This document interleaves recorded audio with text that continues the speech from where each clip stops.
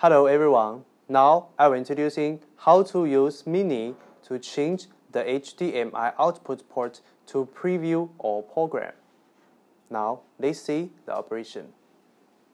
Press the menu button and choose the HDMI out.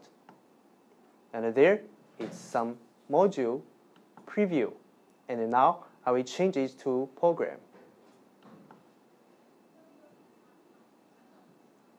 As you can see, it's setting successful. Also, you can setting the USB 3.0 port to program or preview. I hope this video can help you.